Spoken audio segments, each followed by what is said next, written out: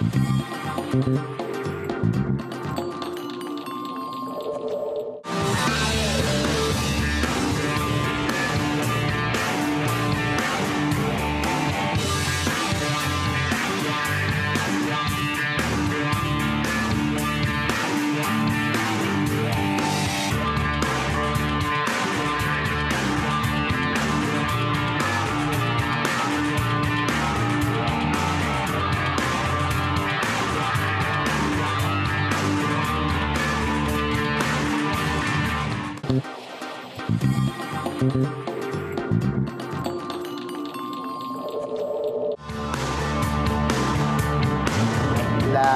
noticia de esta semana y también de esta mañana tiene que ver con el comercio internacional de la Argentina, el acuerdo anunciado entre el uh, Mercosur y la Unión Europea primero y esta mañana eh, la información de que hay conversaciones para un acuerdo también con Estados Unidos eh, entre Brasil y Argentina, evidentemente son novedades muy importantes, vamos a ocuparnos de este tema, pero y no solamente de este tema en esta emisión de asuntos públicos. Sí. Bueno, empecemos porque es un, muchas noticias. Eh, un poco inesperado el timing, estamos en un momento electoral, eso también tiene algunos algunos eh, aristas, eh, digamos, políticas, pero estos procesos generalmente son muy largos, de conversaciones diplomáticas y surgen, bueno, en momentos, este, bueno, ahora a propósito de la cumbre del G20, eh, pero surgen en momentos que tal vez no son los ideales, pero bueno, es cuando, cuando surgen, ¿no? bueno, fue un acuerdo donde todos estaban apurados. Primero Cecilia Malmström, que era la negociadora europea, que ella quería terminar su mandato en la Unión Europea con este acuerdo, con mm, algo, mm. porque viene de fracasar con el Reino Unido, es decir, Europa pasa a perder una parte muy importante de su PBI, una de sus potencias se va el Reino Unido. Por lo tanto, necesitaban dar una, digamos, una señal política y, eh, digamos, en el tema del Mercosur, eso era un dato. Ella apuró muchísimo el acuerdo y negociaba dando años a la falta de acceso de, mercado. Por ejemplo, se le planteaba, bueno, ¿qué pasa con eh, autopartes? ¿Qué pasa con laboratorios farmacéuticos? Bueno, 10 años, 15 años, 8 años, ¿no? Pero estaba muy apurada por tener ese checklist de los productos más sensibles y llegar a un acuerdo y anunciarlo porque al día siguiente se iba. Mm. Lo mismo le pasaba al jefe de la Comisión de Bruselas, que ahora va a ser reemplazado por una mujer. O sea, era un momento, por un lado, Europa apuradísimo y también la Argentina, porque para Macri era más que importante cargarse este laurel. Primero, él es el presidente pro tempore del Mercosur, va a cambiar ahora en Santa Fe, se hace una reunión donde cambia para el lado brasileño, o sea, él quería llevarse esto.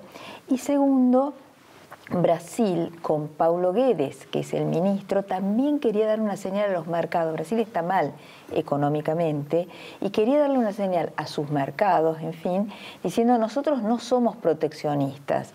No, no escuchen a la ministra de Agricultura que se enfureció y casi por la industria incipiente vitivinícola de Brasil casi patea el acuerdo. La ministra de Agricultura de Brasil. Sí, sí, ah. ahí hubo una interna vista por todo. Brasil tiene una tradición proteccionista. Enorme. Bueno, tiene, la ministra, tiene cosas que proteger. Claro, la ministra de Agricultura y el ministro de Industria de Brasil fueron los que más se opusieron y mientras Cecilia Malmström de, la Unión Europea decía, bueno, 15 años, ¿querés 16? Toma, viste, una cosa así. Claro, lo que... fue una cosa entre gallos y medianoche de mucha conveniencia política. Política, de ambas partes.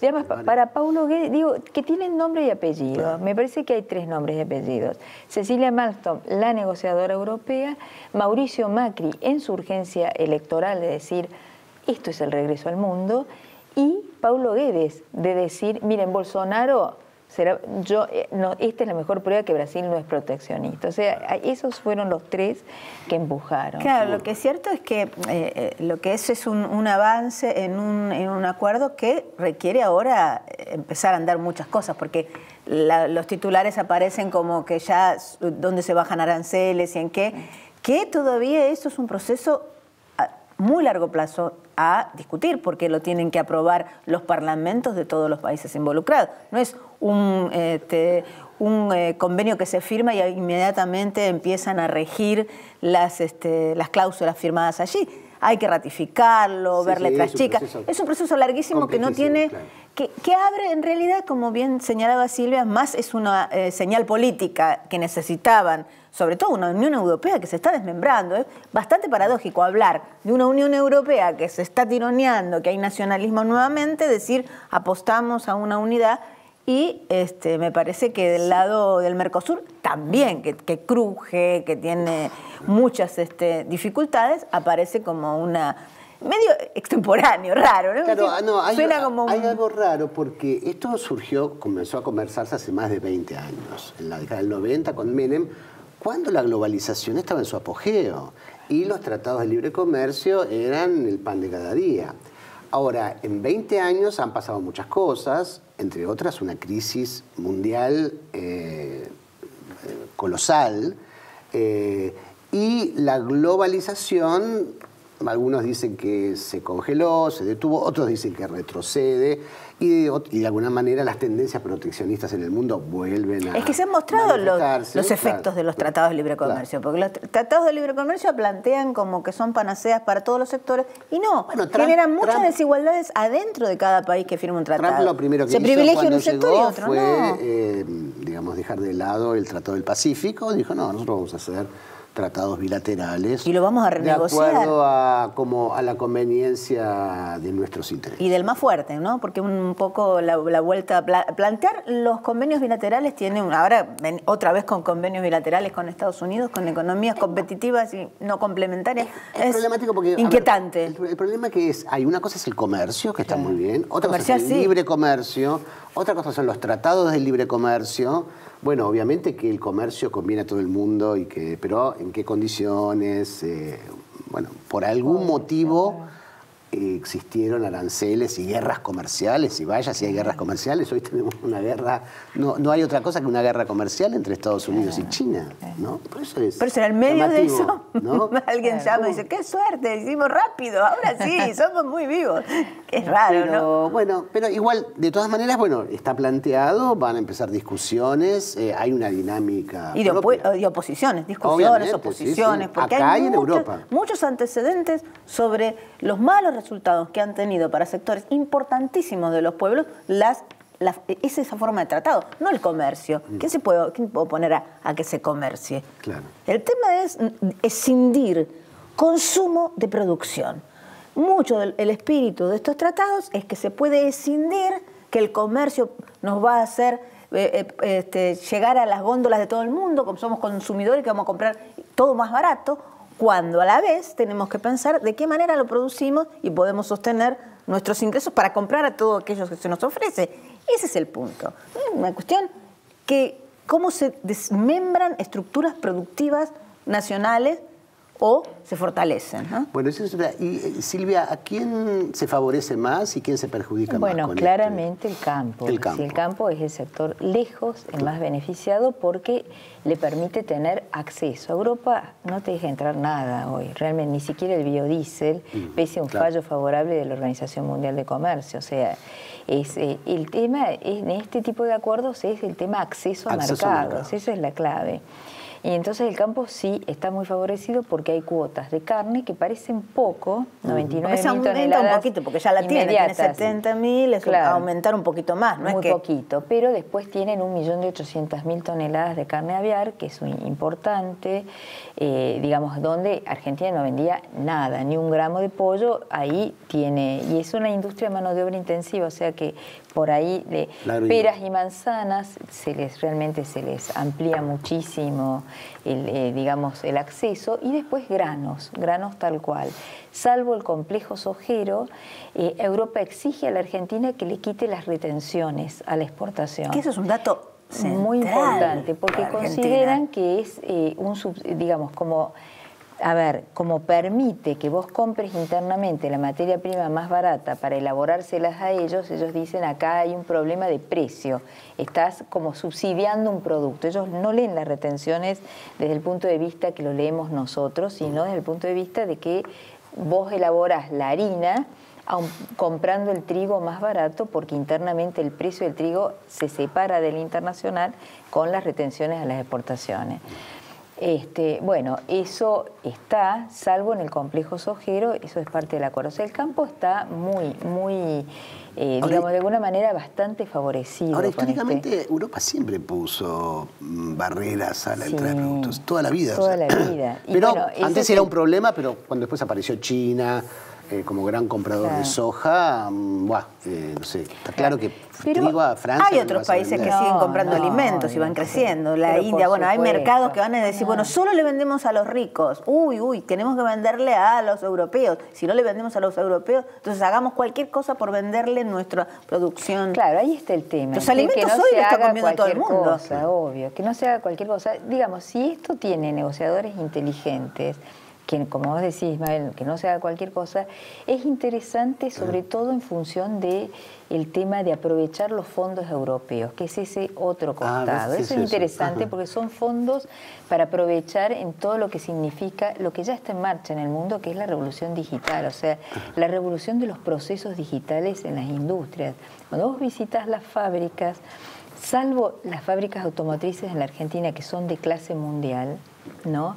El resto te das cuenta que, que, falta las pymes, le falta mucho desarrollo tecnológico, la digitalización, etcétera. Si esos fondos europeos que van ahora a otros continentes, por ejemplo África, vienen acá y ayudan a un proceso de transformación productiva, puede ser realmente interesante, ¿no? Ahora, que eso signifique que junto con la plata venga la maquinaria, etcétera, y lo fundan al autopartista de Santa Fe, ahí es un horror. ¿La industria automotriz está amenazada con este tratado? La industria automotriz no, pero la industria autopartista sí. Autopartista, claro. Que es una de las manos intensivas y genera trabajo. Claro, ellos dicen cuidado porque van a venir los italianos o los franceses nos van a borrar del mapa, hay que ver bien que, bueno, a ellos les han dado bastante tiempo, mm. casi 15 años, para toda una transformación. Si esos 15 años vienen con, con transferencia de tecnología y, dinero sin una contraparte que implique la desaparición de industrias locales, realmente puede ser interesante, digamos, ayudar a un proceso de, tecnología. Hay, hay un dato que siempre hay que tener en cuenta, que es que lo que piensan los eh, sindicatos y la, organización del trabajo en todos lados con respecto a los tratados de libre comercio. En general, todas las organizaciones sindicales de todo el mundo siempre se han opuesto porque han considerado que estos tratados de libre comercio permiten al sector del capital imponer normas de flexibilización laboral que redundan en aumento de sus propias ganancias. Entonces, eso también es un dato a tener en cuenta. ¿Quién festeja un tratado de libre comercio y quién se resiste? Porque qué mm. condiciones le imponen a el, sector del trabajo. En el sector de los que solo tienen para vender lo que saben hacer, su trabajo, que no tienen medios de producción. Y que en estos tratados se, intenta de que, porque eh, son los grandes ausentes. Fíjate, por ejemplo, allá la circulación del trabajo, por ejemplo. Claro, que es un error político y sobre todo además en tiempos electorales grave de parte del gobierno, pese a que lo tiene Pichetto, el peronista, en la fórmula, porque ayer los grandes ausentes en la convocatoria que hizo Macri fueron los sindicatos, que deberían haber estado. O sea, fueron los empresarios de todo tamaño. Y, pero faltaban los sindicatos, es verdad lo que vos decís. Es que los sindicatos de todo el mundo, porque los acuerdos de libre comercio tienen un fundamento, es que es hacer más flexible la circulación del capital y generar la ganancia que la teoría, en teoría se dice, si esto es así, vamos a generar más trabajo y todos van a ganar más. La teoría, pero las prácticas concretas, las formas realmente existentes, no son así. lo que se perjudican lo que ya ha pasado son los pueblos. la libre circulación de mercancías, pero no la libre circulación de personas. ¿no? Pero, bueno, vamos a seguir esto, tenemos mucha tela para cortar acá, enseguida volvemos en asuntos públicos.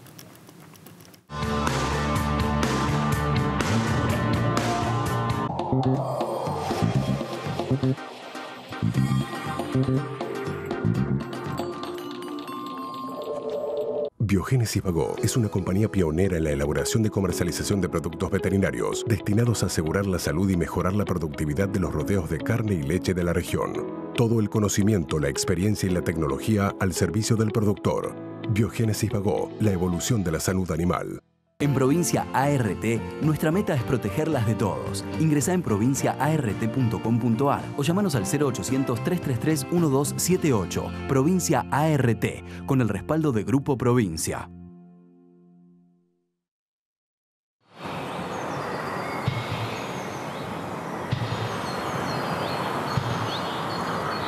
Chevrolet. Find New Roads. Grupo Petersen, desde 1920, construyendo el país.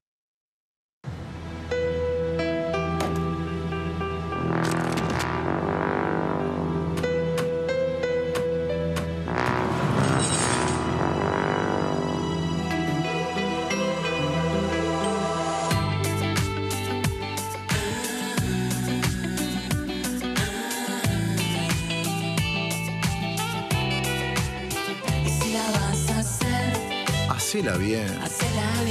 Pedí tu préstamo online. Banco Ciudad te quiere ver crecer.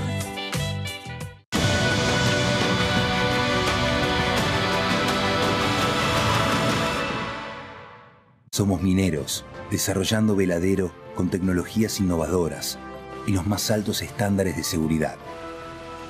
Minera Andina del Sol. ¿Sabe de qué no deberíamos desprender? De las goteras. Pasa que al techista hay que pagarle. Vamos a tener que dejarlo para el mes que viene. Ay, mi amor, no seas ridículo. Si vos tenés tu cuenta de sueldo en el Galicia, no puedes pedir un adelanto. Vos también cobras tu sueldo en el Galicia. Entonces, es una forma de decir. De decir que lo pidas vos. No, hagámoslo. Estoy cansado que se me enfríe el té. Mira. Si cobras tu sueldo en Banco Galicia, podés pedir un adelanto por online banking.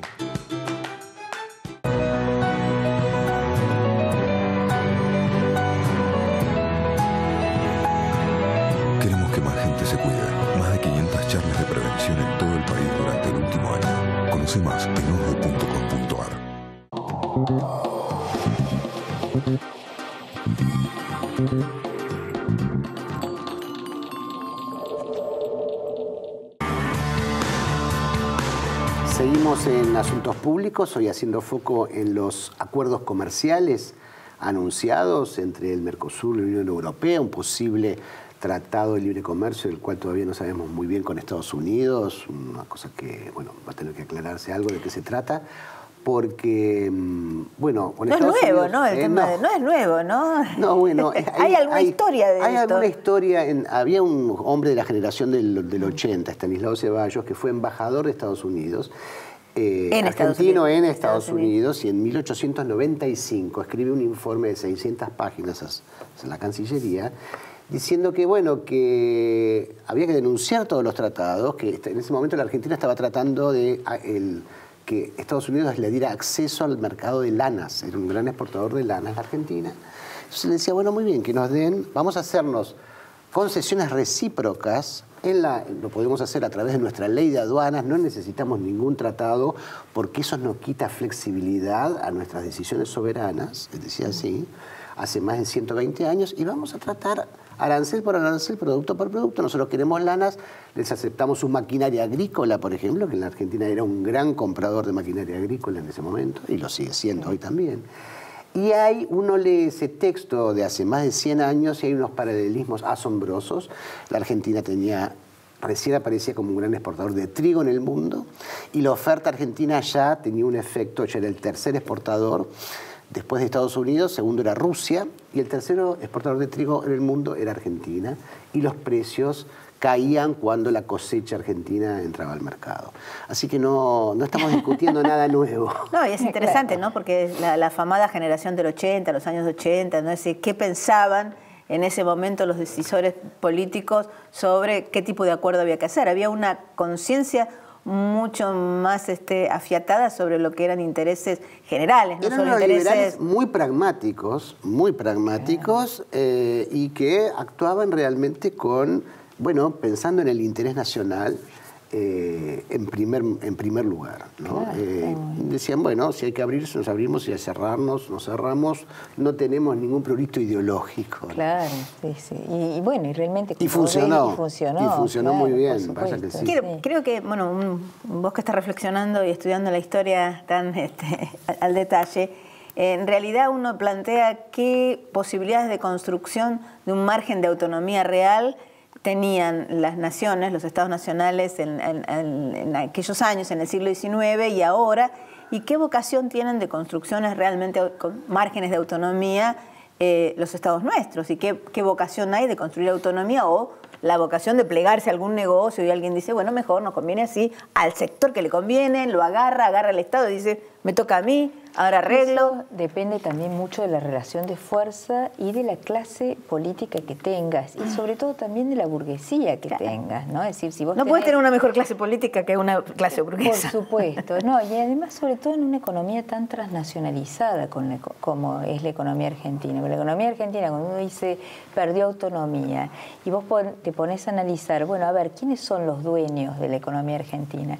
Y en verdad son muy pocos los argentinos. Entonces, ahí hay un problema, un problema de base, un problema estructural, donde el poder político está negociando más que con gerentes, digamos, ¿dónde está la, digamos, la defensa del interés nacional? En aquel momento la Argentina era de los argentinos, porque básicamente era una economía agrícola donde tenías pocas firmas extranjeras y tenías los dueños de la tierra. La generación del 80 respondía a esos intereses nacionales. Y además tenían un orgullo nacional, ellos decían, nosotros somos los yanquis del sur, claro. somos los yanquis del sur, y estamos, eh, sí, claro, llamando a la, inversión extranjera, pero en un momento a comienzos del siglo 1902, el diario La Nación llamaba a la nacionalización de los servicios públicos. Eh, y alertaba contra la excesiva dependencia del capital extranjero. Decía que había que tomar cartas en el asunto. Bueno, esa, esa era la nación y era el diario de Mitre, estaba en ese momento Emilio Mitre, eh, al frente del diario, era un ingeniero, constructor, eh, era, una, era una clase con una gran conciencia de que estaban formando un Estado que iba a ser, bueno, muy importante en, Sudamérica, ¿no? Ya lo era, era la primera potencia sin duda, porque Brasil en aquel momento tenía, era una economía más pequeña que la Argentina. Esa es la relación de fuerzas. Y la construcción política. ¿Quién construye políticamente esto? Porque decir, bueno, no hay intereses que se transparentan directos al Estado, de intereses de, de, distintos sectores, los sectores del capital, que tienen segmentos, además que están segmentados, compiten, tienen intereses diferentes hay alguna instancia que los tiene que unificar. Y en esa instancia que unifica no solo eh, los intereses con poder económico para tomar decisiones, porque nosotros hablamos de democracia, pero las democracias este, tienen un margen de acotamiento muy acotado de decisión, porque las decisiones que se toman todos los días en las empresas las, se toman privadamente y hay quien manda y quien obedece muy claramente qué decisiones se toman. Entonces, en la democracia se elige en todo caso qué orientación va a tener y cómo se equilibran estas diferentes formas de poder, que es más ficcional que real. Por eso hay de tanta desilusión ciudadana, los, formatos representativos, porque en realidad esa mediación no es transparente. Esa representación es una representación, hacer presente lo que no está presente, que es casi como un imposible, ¿no? Es decir, no hay forma de, de transparentar directamente los intereses de todos, pero hay ¿Cuáles son las formas de articularlo? ¿En qué contexto y con qué oferta organizativa vamos a estar todos mejor? Hay quienes suponen que se va a estar mejor si los que tienen los resortes económicos pueden decidir libremente y ellos que son los capacitados para crear trabajo, les dejan a ellos las cartas blancas porque son los que saben, si tienen es porque saben, y que a ellos. Y hay quienes plantean que no es así, que hay que equilibrar las relaciones de poder entre quienes son los dueños de los medios de producción y quienes no.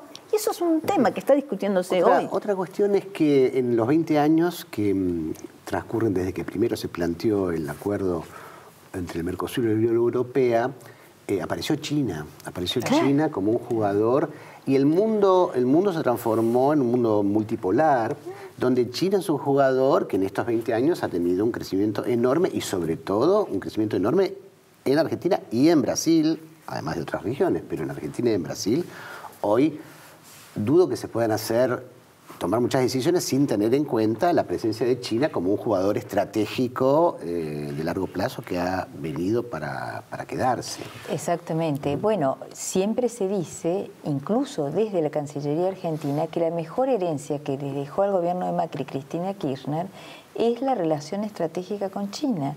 A tal punto que recordemos que gran parte de las reservas que tenemos en el Banco Central son chinas, por el swap de monedas, que en este momento, pese a este coqueteo con Estados Unidos, Mauricio Macri está negociando una tercera, una cuarta central nuclear con los chinos, que sería una central nuclear de bajo, de tamaño medio, o sea que se puede hacer acá en Argentina, pero además con la idea de exportar esa tecnología, para el resto de América Latina y están pensando en una inversión de 7 mil millones de dólares que probablemente se anuncie la semana que viene como parte también de la campaña electoral que de paso da, obviamente, imagínense, una central nuclear da mucho trabajo, es realmente una obra de ingeniería extraordinaria, sofisticada, etcétera. Entonces, no, con China eh, ¿No será, relaciones... ¿No será otro cuento chino como que puede ser, también, con, Néstor Kirchner, puede ser. Que eran 20 mil millones de dólares.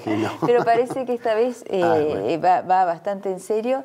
Eh, los chinos, además, hoy manejan el comercio de grano de la Argentina. Son los dueños de las principales exportadoras de grano de la Argentina. Hay comercios que no les prestamos atención, pero son chinos. Por ejemplo, toda la explotación de nuez pecan que se está haciendo en La Rioja, San Juan, San Luis, digamos. también la, provincia de Buenos Aires. También la provincia de Buenos Aires. Bueno, está en manos las tierras, la explotación y la exportación hacia China está en manos chinas. No hablemos de la industria frigorífica, ah, eh, pronto en la industria láctea que están haciendo inversiones, o sea, son inversores muy importantes, eh, digamos, externos en la Argentina. Fascinante. Bueno, ese es un tema de hecho, las empresas, dada la transnacionalización de las empresas argentinas, hay que ver cómo juegan todos esos intereses cruzados, ¿no? Porque están los estadounidenses, que tienen sus contradicciones con los europeos, y los chinos, en guerra comercial con Estados Unidos. En el medio nosotros que somos que, le vendemos mucho a los chinos. Y esto, en esto uno se plantea por qué este tipo de discusiones no son las discusiones que se plantean en el momento electoral.